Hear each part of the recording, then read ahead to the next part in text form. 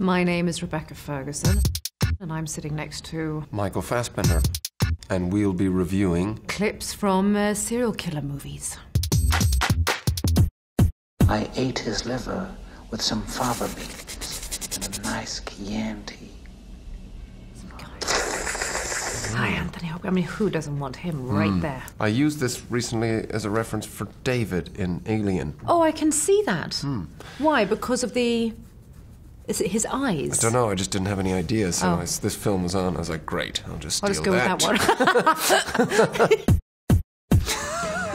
God, that is brilliant. Look at that. This is probably one of my absolute favourite films. I was laughing at when it was happening there. Is that? I, but so it's weird. because he does the little dance. He's Yeah. Oh. so into his moves and the oh. quick turns. yeah. It's just brilliant. Psycho, Psycho. which you've never seen. She's never seen Psycho. Oh my god. Oh, it's, I've Whoa. seen this.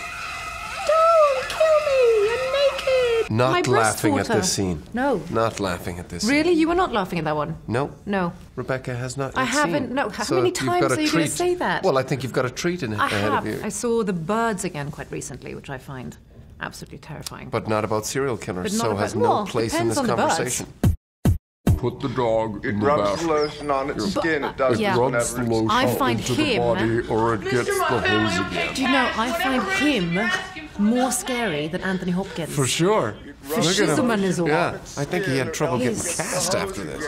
It's his Complete with penis in between his legs. Oh, yes, the mangina.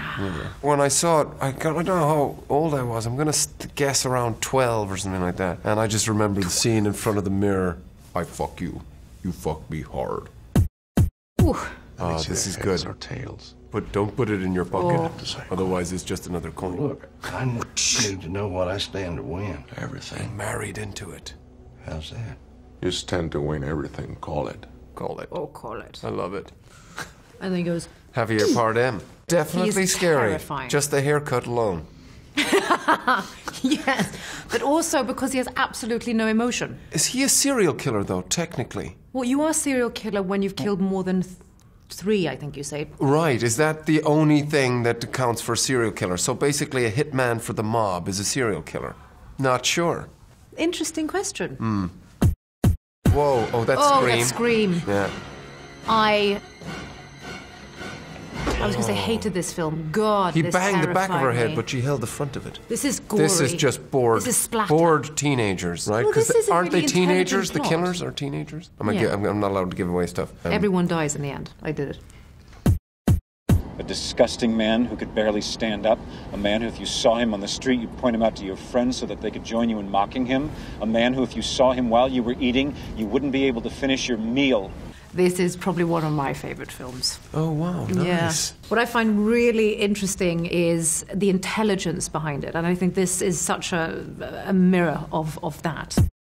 This is Texas Chainsaw Massacre. Fantastic film. I have not seen this Also one. saw this around the age 12. What, were my did your parents, thinking? Snap! Yeah. I never saw this. Does he just I- chop them up? Well, yeah, he's the sort of kind of unbalanced one in the family. The the bit that really got me was when they when the grandpa they stick the finger in his mouth and you think he's sort of dead, but he's just sort of like just barely alive, sucking the blood. Monster, isn't this? Have you seen this one? Oh, The truck driver, Charlize. Of course I have. Right. And uh, Christina Ricci. I forgot that she was a serial killer. Shut the fuck up! But for me, she's not a serial killer in this film. But It's she got tried Desperation. And it's revenge, isn't Whoa. it? I guess you're still a serial killer if you kill lots of people. What about if you killed somebody, but then somebody else knew that you killed that person, so you had to kill them, and then somebody else knew also? So you're just backing tracks. Yeah, you're just so you're just yourself. trying not to get caught. That's and just all of a sudden you really. find yourself in a serial killer category. I think it's quite an unpredictable category. Oh, a favorite. I think Seven is one of my favorites. I'm gonna have to go. and No uh, Country for Old Men. I'm gonna go with Ted Levine, Buffalo Bill.